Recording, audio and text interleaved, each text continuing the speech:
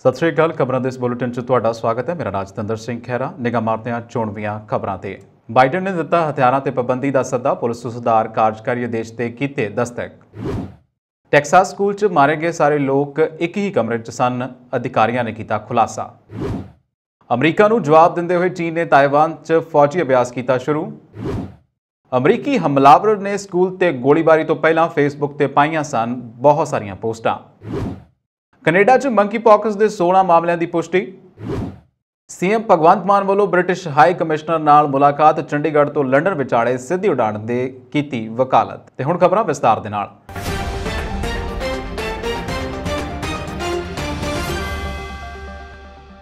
America ਦੇ ਰਾਸ਼ਟਰਪਤੀ ਜੋ ਬਾਈਡਨ ਨੇ ਟੈਕਸਾਸ ਦੇ ਸਕੂਲ ਦੇ ਵਿੱਚ ਗੋਲੀਬਾਰੀ ਦੇ ਵਿੱਚ ਬੱਚਿਆਂ ਦੀ ਮੌਤ ਤੇ ਗੁੱਸਾ, ਨਿਰਾਸ਼ਾ ਅਤੇ ਦੁੱਖ ਪ੍ਰਗਟਾਉਂਦੇ ਹੋਏ ਹਥਿਆਰਾਂ ਤੇ ਨਵੀਆਂ ਪਾਬੰਦੀਆਂ ਲਗਾਉਣ ਦਾ ਸੱਦਾ ਦਿੱਤਾ। ਬਾਈਡਨ ਨੇ ਕਿਹਾ ਕਿ ਇਹ ਸਮਾਂ ਹੈ ਕਿ ਅਸੀਂ ਇਸ ਦੁੱਖ ਨੂੰ ਕਾਰਵਾਈ ਵਿੱਚ ਬਦਲ ਦਈਏ। ਬੱਚਿਆਂ ਨੂੰ ਗਵਾਉਣ ਨਾਲ ਆਤਮ, ਆਤਮਾ ਨੂੰ ਦੁੱਖ ਪਹੁੰਚਿਆ ਹੈ। ਅਜਿਹਾ ਲੱਗਦਾ ਹੈ ਕਿ ਇਸ ਵਿੱਚ ਅਸੀਂ ਫਸ ਗਏ ਹਾਂ ਅਤੇ ਕਦੇ ਬਾਹਰ ਨਹੀਂ ਨਿਕਲ ਸਕਾਂਗੇ। ਬਾਈਡਨ ਨੇ ਦੇਸ਼ ਦੀ ਜਨਤਾ ਅਤੇ ਕਾਨੂੰਨ ਲਗਾ- ਲਾਗੂ ਕਰਨ ਵਾਲਿਆਂ ਵਿਚਕਾਰ ਵਿਸ਼ਵਾਸ ਪੈਦਾ ਕਰਨ ਲਈ ਪੁਲਿਸ ਸੁਧਾਰ ਸੰਬੰਧੀ ਇੱਕ ਕਾਰਜਕਾਰੀ ਆਦੇਸ਼ ਦੇ ਦਸਤਕ ਕੀਤੇ ਨੇ। ਬਾਈਡਨ ਨੇ ਬੁੱਧਵਾਰ ਨੂੰ ਕਿਹਾ ਕਿ ਇਹ ਇੱਕ ਉਪਾਅ ਹੈ ਜੋ ਅਸੀਂ ਇਸ ਦੇਸ਼ ਨੂੰ ਸਹੀ ਦਿਸ਼ਾ ਦੇ ਵਿੱਚ ਲਿਜਾਣ ਦੇ ਲਈ ਦੇ ਸਕਦੇ ਹਾਂ। ਅਮਰੀਕਾ ਦੇ ਰਾਸ਼ਟਰਪਤੀ ਜੋ ਬਾਈਡਨ ਨੇ ਟੈਕਸਾਸ ਦੇ ਸਕੂਲ ਦੇ ਵਿੱਚ ਗੋਲੀਬਾਰੀ ਦੇ ਵਿੱਚ ਬੱਚਿਆਂ ਦੀ ਮੌਤ ਤੇ ਗੁੱਸਾ ਤੇ ਨਿਰਾਸ਼ਾ ਪ੍ਰਗਟਾਉਂਦਿਆਂ ਇਹ ਸਭ ਕੁਝ ਕਿਹਾ ਹੈ। ਅਮਰੀਕਾ ਦੇ ਕਾਨੂੰਨ ਲਾਗੂ ਕਰਨ ਵਾਲੇ ਅਧਿਕਾਰੀਆਂ ਨੇ ਦੱਸਿਆ ਕਿ ਟੈਕਸਾਸ ਦੇ ਪ੍ਰਾਇਮਰੀ ਸਕੂਲ ਦੇ ਵਿੱਚ ਹੋਈ ਗੋਲੀਬਾਰੀ 'ਚ ਜੋ ਲੋਕ ਮਾਰੇ ਗਏ ਨੇ, ਉਹ ਸਾਰੇ ਇੱਕ ਹੀ ਕਮਰੇ ਦੇ ਵਿੱਚ ਸਨ। ਟੈਕਸਾਸ ਜਨ ਸੁਰੱਖਿਆ ਵਿਭਾਗ ਦੇ ਲੈਫਟੀਨੈਂਟ ਕ੍ਰਿਸਟੋਫਰ ਓਲੀਵਰ ਨੇ CNN ਨੂੰ ਦੱਸਿਆ ਕਿ ਸਾਰੇ ਪੀੜਤ ਯੂਵਾਲਡੀ ਸਥਿਤ ਰਾਵ ਐਲੀਮੈਂਟਰੀ ਸਕੂਲ ਦੀ ਚੌਥੀ ਜਮ- ਜਮਾਤ ਦੇ ਵਿੱਚ ਮੌਜੂਦ ਸਨ। ਜ਼ਿਕਰਯੋਗ ਹੈ ਕਿ ਮੰਗਲਵਾਰ ਨੂੰ ਹੋਈ ਗੋਲੀਬਾਰੀ 'ਚ 19 ਬੱਚੇ ਅਤੇ ਦੋ ਅਧਿਆਪਕ ਮਾਰੇ ਗਏ ਨੇ। ਅਧਿਕਾਰੀਆਂ ਨੇ ਦੱਸਿਆ ਕਿ ਇਸ, ਕੇ 18 ਸਾਲਾ ਹਮਲਾਵਰ ਵੀ ਮਾਰਿਆ ਗਿਆ। ਸਕੂਲ 'ਚ ਮਾਰੇ ਗਏ 19 ਬੱਚੇ ਗਰਮੀ ਦੀਆਂ ਛੁੱਟੀਆਂ ਤੋਂ 2 ਦਿਨ ਦੂਰ ਸਨ। ਸਕੂਲ 'ਚ ਦੂਜੀ ਤੋਂ ਚੌਥੀ ਕਲਾਸ ਦੇ ਲਗਭਗ 570 ਬੱਚੇ ਪੜ੍ਹਦੇ ਸਨ, ਜਿਨ੍ਹਾਂ 'ਚੋਂ ਕਰੀਬ 90% ਦੀ ਹਿਸਪੈਨਿਕ ਹਨ। ਸਲਵਾਡੋਰ ਰਾਮਸ ਜੋ ਕਿ 18 ਸਾਲਾਂ ਦਾ ਸੀ, ਉੱਥੋਂ ਭੱਜਣ ਤੋਂ ਪਹਿਲਾਂ ਆਪਣੀ ਦਾਦੀ ਨੂੰ ਗੋਲੀ ਮਾਰ ਦਿੱਤੀ ਸੀ ਅਤੇ ਯੂਵਾਲਡੀ ਦੇ ਰਾਬ ਐਲੀਮੈਂਟਰੀ ਸਕੂਲ ਨੇੜੇ ਆਪਣੀ ਕਾਰ ਨੂੰ ਟੱਕਰ ਮਾਰ ਦਿੱਤੀ ਅਤੇ ਘੱਟੋ-ਘੱਟ 21 ਲੋਕਾਂ ਨੂੰ ਮਾਰ ਦਿੱਤਾ। ਅਮਰੀਕਾ ਦੇ ਰਾਸ਼ਟਰਪਤੀ ਜੋ ਬਾਈਡਨ ਦੀ ਤਾਇਵਾਨ ਨੂੰ ਲੈ ਕੇ ਕੀਤੀ ਗਈ ਟਿੱਪਣੀ ਦੇ ਜਵਾਬ ਦੇ ਵਿੱਚ ਚੀਨ ਨੇ ਤਾਇਵਾਨ ਨੇੜੇ ਫੌਜੀ ਅਭਿਆਸ ਸ਼ੁਰੂ ਕਰ ਦਿੱਤਾ। ਸੋਮਵਾਰ ਨੂੰ ਜਾਪਾਨ ਦੀ ਰਾਜਧਾਨੀ ਟੋਕੀਓ 'ਚ ਹੋਈ ਕਵਾਡ ਗਰੁੱਪ ਦੀ ਬੈਠਕ 'ਚ ਤਾਇਵਾਨ ਤੇ ਟਿੱਪਣੀ ਕਰਦੇ ਹੋਏ ਬਾਈਡਨ ਨੇ ਕਿਹਾ ਕਿ ਜੇਕਰ ਚੀਨ ਤਾਇਵਾਨ ਤੇ ਹਮਲਾ ਕਰਦਾ ਹੈ ਤਾਂ ਅਮਰੀਕਾ ਜ਼ਰੂਰ ਦਖਲ ਦੇਵੇਗਾ। ਰਾਸ਼ਟਰਪਤੀ ਬਾਈਡਨ ਨੇ ਇਸ ਬਿਆਨ ਤੇ ਸਿੱਧੇ ਤੌਰ ਤੇ ਪ੍ਰਤੀਕਿਰਿਆ ਦਿੰਦੇ ਹੋਏ ਚੀਨ ਨੇ ਤਾਇਵਾਨ ਨੇੜੇ ਫੌਜੀ ਕਾਰਵਾਈ ਸ਼ੁਰੂ ਕਰ ਦਿੱਤੀ ਹੈ। ਸੀਜੀਟੀਐਨ ਨੇ ਪੀਪਲਜ਼ ਲਿਬਰੇਸ਼ਨ ਆਰਮੀ ਦੇ ਪੰਜ ਥੀਏਟਰ ਕਮਾਂਡੋਜ਼ ਵਿੱਚੋਂ ਇੱਕ ਪੂਰਬੀ ਥੀਏਟਰ ਕਮਾਂਡ ਦੇ ਬੁਲਾਰੇ ਸੀਨੀਅਰ ਕਰਨਲ ਜੀਫੀ ਸ਼ੀ ਦੇ ਹਵਾਲੇ ਨਾਲ ਕਿਹਾ ਕਿ ਪੀਐਲਏ ਦੇ ਪੂਰਬੀ ਥੀਏਟਰ ਕਮਾਂਡ ਨੇ ਆਲੇ ਦੁਆਲੇ ਦਾ, ਆਲੇ ਦੁਆਲੇ ਦੇ ਪਾਣੀਆਂ ਅਤੇ ਹਵਾਈ ਖੇਤਰ ਦੇ ਵਿੱਚ ਸਾਂਝੇ ਫੌਜੀ ਅਭਿਆਸ ਸ਼ੁਰੂ ਕਰ ਦਿੱਤੇ ਨੇ, ਜੋ ਕਿ ਅਮਰੀਕਾ ਨੂੰ ਦਿੱਤੀ ਗਈ ਇੱਕ ਤਰ੍ਹਾਂ ਦੀ ਚੇਤਾਵਨੀ ਹੈ। ਇਹਨਾਂ ਨੇ ਕਿਹਾ ਕਿ ਤਾਈਵਾਨ ਚੀਨ ਦਾ ਇੱਕ ਹਿੱਸਾ ਹੈ ਅਤੇ ਪੀਐਲਏ ਦੀ ਪੂਰਬੀ ਥੀਏਟਰ ਕਮਾਂਡ ਰਾਸ਼ਟਰੀ ਪ੍ਰਭੂਸੱਤਾ ਅਤੇ ਖੇਤਰ ਦੇ ਵਿੱਚ ਸ਼ਾਂਤੀ ਅਤੇ ਸਥਿਰਤਾ ਦੇ ਲਈ ਵਚਨਬੱਧ ਹੈ। ਟੈਕਸਾਸ ਦੇ ਗਵਰਨਰ ਨੇ ਕਿਹਾ ਕਿ ਪ੍ਰਾਇਮਰੀ ਸਕੂਲ 'ਚ 19 ਬੱਚਿਆਂ ਅਤੇ ਦੋ ਅਧਿਆਪਕਾਂ ਦਾ ਕਤਲ ਕਰਨ ਵਾਲੇ ਬੰਦੂਕਧਾਰੀ ਨੇ ਹਮਲੇ ਤੋਂ ਕੁਝ ਮਿੰਟਾਂ ਪਹਿਲਾਂ ਸੋਸ਼ਲ ਮੀਡੀਆ ਤੇ ਲਿਖਿਆ ਸੀ ਕਿ ਉਹ ਕਿਸੇ ਸਕੂਲ ਤੇ ਹਮਲਾ ਕਰਨ ਵਾਲਾ ਹੈ। ਗਵਰਨਰ ਗ੍ਰੈਗ ਈਬਟ ਨੇ ਕਿਹਾ ਕਿ ਹਮਲਾ ਕਰਨ ਵਾਲੇ 18 ਸਾਲਾ ਸਲਵਾਡੋਰ ਰੋਮਸੇ ਨੇ ਓਲਾ- ਉਵਾਲਦੇ ਸਥਿਤ ਰਾਵ ਐਲੀਮੈਂਟਰੀ ਸਕੂਲ ਦੇ ਹਮਲਾ ਕਰਨ ਲਈ AR-15 ਬੰਦੂਕ ਦਾ ਇਸਤੇਮਾਲ ਕੀਤਾ ਸੀ। ਗੋਲੀਬਾਰੀ ਤੋਂ ਲਗਭਗ ਅੱਧਾ ਘੰਟਾ ਪਹਿਲਾਂ ਰਾਮਸੋ ਨੇ ਸੋਸ਼ਲ ਮੀਡੀਆ ਤੋਂ ਇਹ ਤਿੰਨ ਪੋਸਟਾਂ ਪਾਈਆਂ ਸਨ। ਗਵਰਨਰ ਮੁਤਾਬਕ ਰਾਮੋਸ ਨੇ ਲਿਖਿਆ ਸੀ ਕਿ ਉਹ ਆਪਣੀ ਦਾਦੀ ਨੂੰ ਗੋਲੀ ਮਾਰਨ ਜਾ ਰਿਹਾ ਹੈ। ਇਸ ਤੋਂ ਬਾਅਦ ਉਸਨੇ ਲਿਖਿਆ ਕਿ ਉਸਨੇ ਮਹਿਲਾ ਨੂੰ ਗੋਲੀ ਮਾਰ ਦਿੱਤੀ ਹੈ। ਫਿਰ ਉਸਨੇ ਲਿਖਿਆ ਕਿ ਉਹ ਇੱਕ ਪ੍ਰਾਇਮਰੀ ਸਕੂਲ 'ਚ ਗੋਲੀਬਾਰੀ ਕਰਨ ਜਾ ਰਿਹਾ ਹੈ। ਏਬਡ ਏਬਡ ਨੇ ਕਿਹਾ ਕਿ ਰੋਮਸ ਦਾ ਇੱਕ ਕੋਈ ਅਪਰਾਧਿਕ ਜਾਂ ਮਾਨਸਿਕ ਬਿਮਾਰੀ ਦਾ ਕੋਈ ਇਤਿਹਾਸ ਨਹੀਂ ਹੈ। ਕੈਨੇਡਾ ਦੀ ਪਬਲਿਕ ਹੈਲਥ ਏਜੰਸੀ ਯਾਨੀ ਕਿ PHAC ਨੇ ਕੈਨੇਡਾ ਦੇ ਵਿੱਚ ਮੰਕੀਪੌਕਸ ਦੇ 16 ਮਾਮਲਿਆਂ ਦੀ ਪੁਸ਼ਟੀ ਕੀਤੀ ਹੈ। ਇਹ ਸਾਰੇ ਮਾਮਲੇ ਕਿਊਬਿਕ ਸੂਮੇ- ਸੂਬੇ ਦੇ ਵਿੱਚ ਦਰਜ ਕੀਤੇ ਗਏ ਨੇ। PHAC ਨੇ ਬੁੱਧਵਾਰ ਨੂੰ ਇੱਕ ਬਿਆਨ ਦੇ ਵਿੱਚ ਕਿਹਾ ਕਿ ਕਈ ਮਾਮਲਿਆਂ ਦੀ ਪੁਸ਼ਟੀ ਕਰਨ ਲਈ ਨਮੂਨੇ ਲਏ ਜਾ ਰਹੇ ਨੇ। ਬਿਆਨ ਦੇ ਅਨੁਸਾਰ ਮੰਕੀਪੌਕਸ ਦੇ ਮਾਮਲਿਆਂ ਦੀ ਪਛਾਣ ਕੀਤੀ ਜਾ ਰਹੀ ਹੈ ਅਤੇ ਸਥਾਨਕ ਸਿਹਤ ਕੇਂਦਰ ਵੱਲੋਂ ਇਲਾਜ ਕੀਤਾ ਜਾ ਰਿਹਾ ਹੈ। ਕੈਨੇਡਾ ਵਿੱਚ ਸੂਬਿਆਂ ਅਤੇ ਖੇਤਰਾਂ ਦੇ ਨਾਲ ਟੀਕਿਆਂ ਦੀ ਯੋਜਨਾਵਾਂ ਚੱਲ ਰਹੀਆਂ ਨੇ।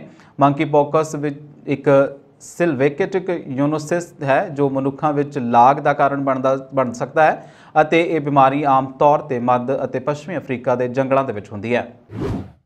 ਪੰਜਾਬ ਤੇ ਬਰਤਾਨੀਆ ਨੇ ਅੱਜ ਖੇਤੀਬਾੜੀ ਸੂਚਨਾ ਤੇ ਟੈਕਨੋਲੋਜੀ ਫੂਡ ਪ੍ਰੋਸੈਸਿੰਗ ਉਚੇਰੀ ਸਿੱਖਿਆ, ਖੇਡਾਂ, ਜਨਤਕ ਟਰਾਂਸਪੋਰਟ ਅਤੇ ਬਾਇਓਮਾਸ ਵਰਗੇ ਖੇਤਰਾਂ ਦੇ ਵਿੱਚ ਹੋਰ ਸਹਿਯੋਗ ਵਧਾਉਣ ਦੇ ਦੀ ਸਹਿਮਤੀ ਦਿੱਤੀ ਹੈ। ਇਸ ਸੰਬੰਧੀ ਫੈਸਲਾ ਵੀਰਵਾਰ ਨੂੰ ਮੁੱਖ ਮੰਤਰੀ ਭਗਵੰਤ ਮਾਨ ਦੀ ਬਰਤਾਨੀਆ ਨੇ ਦੇ ਹਾਈ ਕਮਿਸ਼ਨਰ ਅਲ ਐਲ- ਐਲੈਕਸ ਐਲਿਸ ਦੀ ਮੁੱਖ ਮੰਤਰੀ ਦੀ ਸਰਕਾਰੀ ਰਿਹਾਇਸ਼ ਵਿਖੇ ਹੋਈ ਮੁਲਾਕਾਤ ਦੌਰਾਨ ਕੀਤਾ ਗਿਆ। ਮੀਟਿੰਗ ਦੌਰਾਨ ਇਹਨਾਂ ਖੇਤਰਾਂ ਦੇ ਵਿੱਚ ਪੰਜਾਬ ਤੇ ਬਰਤਾਨੀਆ ਵਿਚਕਾਰ ਸਹਿਯੋਗ ਦੀਆਂ ਵਿਆਪਕ ਸੰਭਾਵਨਾਵਾਂ ਹੋਣ ਤੇ ਸਹਿਮਤੀ ਬਣੀ ਹੈ।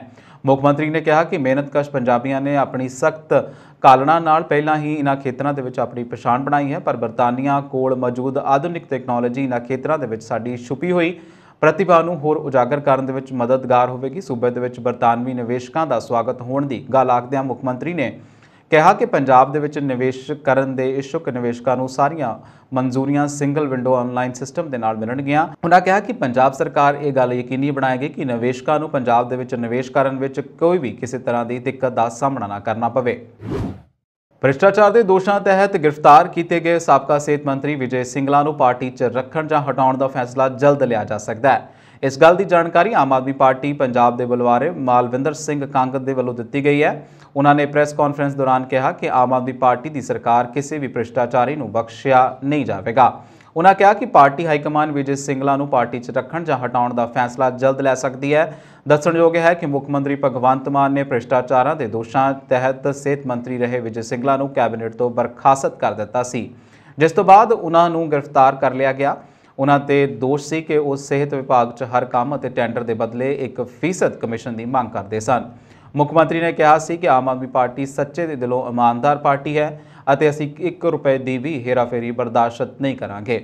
ਇਸ ਮੌਕੇ ਮਾਲਵਿੰਦਰ ਸਿੰਘ ਕੰਗ ਵੱਲੋਂ ਸਾਬਕਾ ਮੁੱਖ ਮੰਤਰੀ ਕੈਪਟਨ ਅਮਰਿੰਦਰ ਸਿੰਘ ਤੇ ਵੀ ਨਿਸ਼ਾਨਾ ਬੰਨਿਆ ਗਿਆ।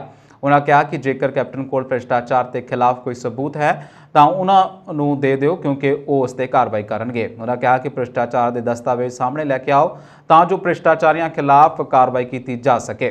ਹੁਣ ਕਾਂਗਰਸ ਦੀ ਜਿਹੜੀ ਲੰਮਾ ਟਾਈਮ ਜਿਹਨੇ ਰਾਜ ਕੀਤਾ ਹੈ ਪੰਜਾਬ ਤੇ, ਲੰਬਾ ਰਜੀਮ ਰਿਹਾ ਹੈ ਕਾਂਗਰਸ ਦਾ ਔਰ ਈਵਨ ਜਿਹੜੇ ਕੈਪਟਨ ਅਮਰਿੰਦਰ ਸਿੰਘ ਹੈ, ਉਹ ਇੱਕ ਲੰਬਾ ਟਾਈਮ ਪੰਜਾਬ ਦੇ ਮੁੱਖ ਮੰਤਰੀ ਰਹੇ ਆ।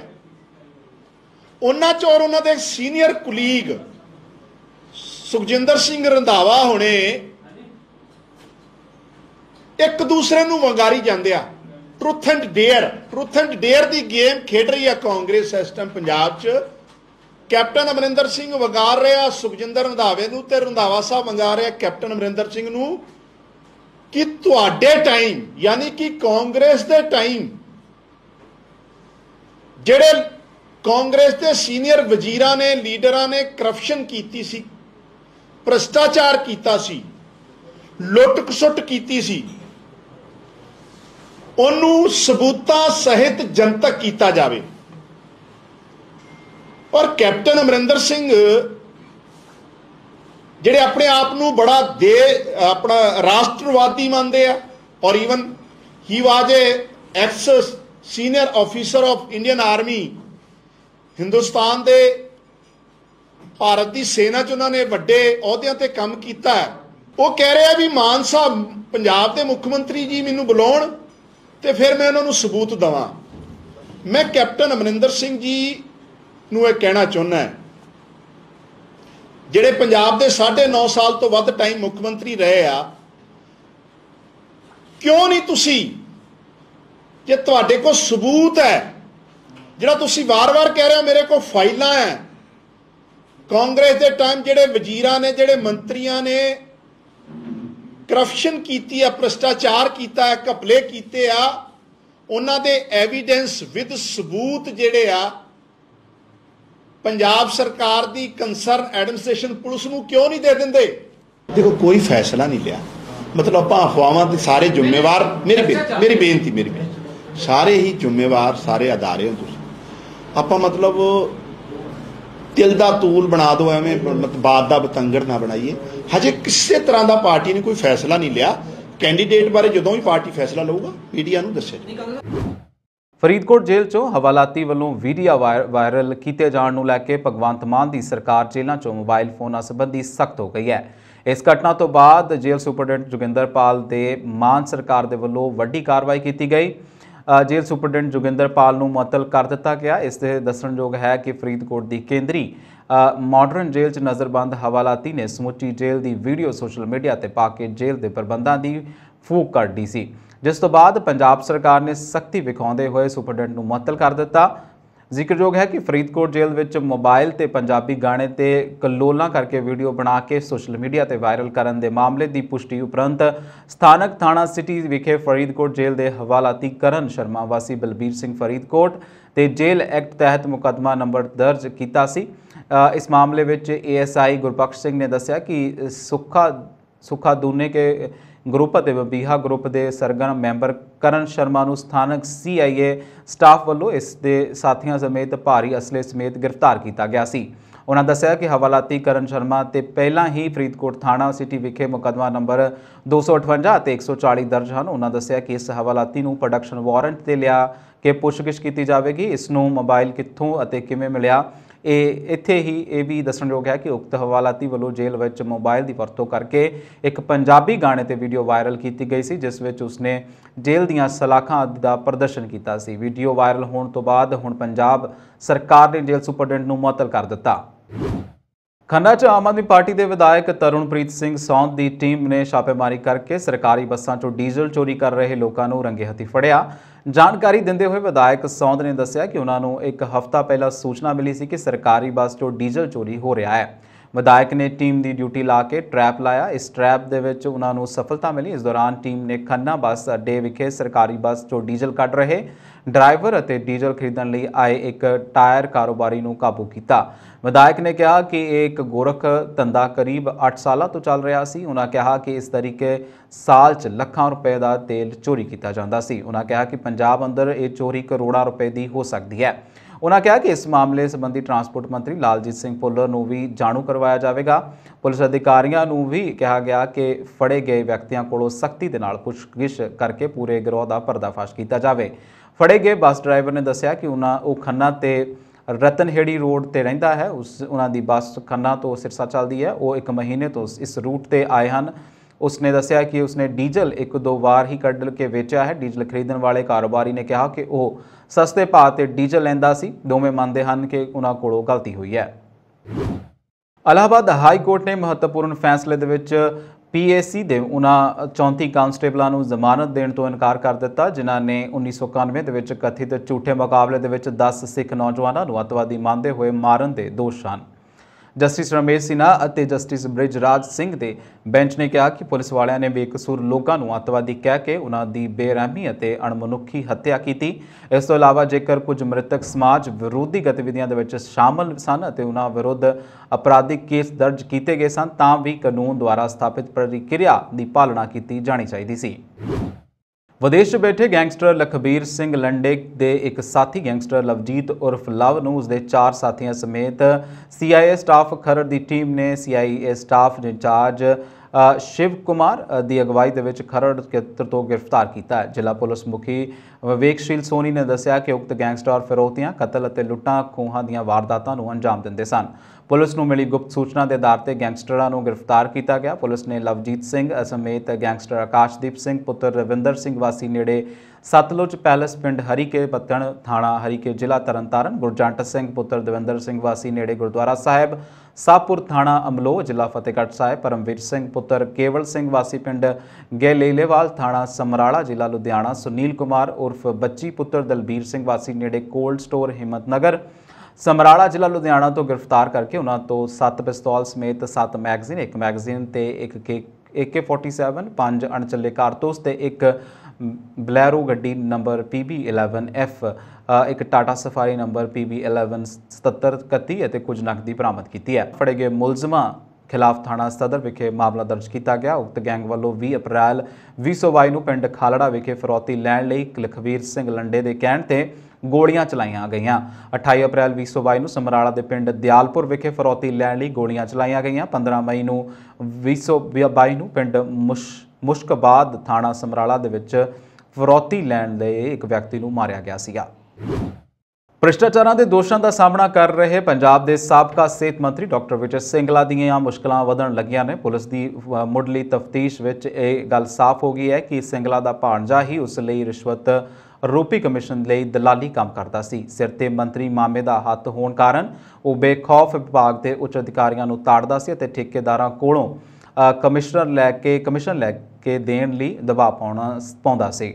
ਸਿੰਗਲਾ ਦੇ ਉਸ ਦਾ ਭਾਣਜਾ ਪ੍ਰਦੀਪ ਕੁਮਾਰ 27 ਮਈ ਤੱਕ ਪੁਲਿਸ ਰਿਮਾਂਡ ਤੇ ਹਨ। ਉੱਚ ਅਧਿਕਾਰੀਆਂ ਦੀ ਮੌਜੂਦਗੀ ਵਿੱਚ ਜਾਂਚ ਟੀਮ ਨੇ ਸਿੰਗਲਾ ਤੇ ਉਸ ਦੇ ਦਲਾਲ ਭਾਣਜੇ ਤੋਂ ਕਾ- ਕ੍ਰਾਸ ਪੁੱਛਗਿੱਛ ਕੀਤੀ ਗਈ ਹੈ। ਉਧਰ ਉਧਰ ਪੰਜਾਬ ਪੁਲਿਸ ਦੀ ਇੱਕ ਹੋਰ ਜਾਂਚ ਏਜੰਸੀ ਓਕੋ ਦੇ ਅਧਿਕਾਰੀਆਂ ਦੇ ਵੱਲੋਂ ਵੀ ਮਾਵੇ ਭਾਣਜੇ ਤੋਂ ਪੁੱਛਗਿੱਛ ਕਰਨ ਬਾਰੇ ਪਤਾ ਲੱਗਾ ਹੈ। ਜਾਣਕਾਰੀ ਅਨੁਸਾਰ ਵਿਜੇ ਸਿੰਗਲਾ ਤੇ ਸਿਹਤ ਮੰਤਰੀ ਹੁੰਦਿਆਂ ਹੁਣ ਤੱਕ ਕਰੀਬ 60 ਤੋਂ ਵੱਧ ਟੈਂਡਰ ਜਾਰੀ ਹੋਏ ਸੀ।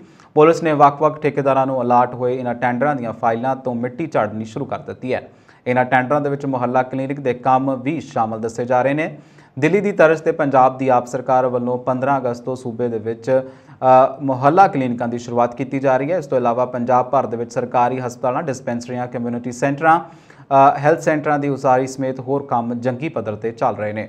ਇਹਨਾਂ ਸਾਰੇ ਕੰਮਾਂ ਤੇ ਵਰਕ ਆਰਡਰ ਹੁਣ ਸ਼ੱਕ ਦੇ ਘੇਰੇ ਦੇ ਵਿੱਚ ਨੇ। ਇਹ ਕੰਮ ਵੀ ਵੱਖ-ਵੱਖ ਠੇਕੇਦਾਰਾਂ ਨੂੰ ਸੌਂਪੇ ਗਏ ਸਨ ਅਤੇ ਮਾਰਚ ਮਹੀਨੇ ਵਿੱਚ 17 ਕਰੋੜ ਰੁਪਏ ਦੇ ਟੈਂਡਰ ਅਲਾਟ ਕਰਕੇ ਪੈਸਿਆਂ ਦਾ ਭੁਗਤਾਨ ਕੀਤਾ ਗਿਆ ਸੀ। ਪੁਲਿਸ ਸੂਤਰਾਂ ਦਾ ਕਹਿਣਾ ਹੈ ਕਿ ਅਗਲੇ ਦਿਨਾਂ ਦੇ ਵਿੱਚ ਸਿਹਤ ਵਿਭਾਗ ਦੇ ਉੱਚ ਅਧਿਕਾਰੀਆਂ, ਸਣੇ ਸੰਬੰਧਿਤ ਠੇਕੇਦਾਰਾਂ ਨੂੰ ਜਾਂਚ ਦੇ ਵਿੱਚ ਸ਼ਾਮਲ ਹੋਣ ਦੇ ਲਈ ਤਲਬ ਕੀਤਾ ਜਾ ਸਕਦਾ ਹੈ। ਆਪ ਦੇ ਬੁਲਾਰੇ ਮਲਵਿੰਦਰ ਸਿੰਘ ਕਾਂਗ ਨੇ ਸਾਬਕਾ ਮੁੱਖ ਮੰਤਰੀ ਕੈਪਟਨ ਅਮਰਿੰਦਰ ਸਿੰਘ ਨੂੰ ਕਾਂਗਰਸ ਦੀ ਪਿਛਲੀ ਸਰਕਾਰ ਦੌਰਾਨ ਆਪਣੀ ਕੈਬਨਿਟ ਦੇ ਸਾਰੇ ਭ੍ਰਿਸ਼ਟ ਮੰਤਰੀਆਂ ਦੀ ਸੂਚੀ ਮਿਲਣ ਨੂੰ ਸੂਚੀ ਪੁਲਿਸ ਨੂੰ ਸੌਂਪਣ ਦੀ ਸਲਾਹ ਦਿੱਤੀ ਹੈ। ਉਹਨਾਂ ਕਿਹਾ ਕਿ ਵਿਜੇ ਸਿੰਗਲਾ ਦੇ ਭਵਿੱਖ ਬਾਰੇ ਫੈਸਲਾ ਪਾਰਟੀ ਲੀਡਰਸ਼ਿਪ ਕਰੇਗੀ। ਸਾਬਕਾ ਸਿਹਤ ਮੰਤਰੀ ਨੂੰ 2 ਦਿਨ ਪਹਿਲਾਂ ਭ੍ਰਿਸ਼ਟਾਚਾਰ ਦੇ ਦੋਸ਼ਾਂ ਦੇ ਵਿੱਚ ਗ੍ਰਿਫਤਾਰ ਕੀਤਾ ਗਿਆ ਸੀ ਅਤੇ ਭਗਵੰਤ ਮਾਨ ਸਰਕਾਰ ਤੋਂ ਬਰਖਾਸਤ ਕਰ ਦਿੱਤਾ ਗਿਆ ਸੀ। ਇਸ ਹੁਣ ਤੱਕ ਦੀਆਂ ਖਬਰਾਂ ਤੁਸੀਂ ਦੇਖਦੇ ਰਹੋ ਪੰਜਾਬ ਮੇਲ ਯੂਐਸਏ ਟੀਵੀ। ਧੰਨਵਾਦ।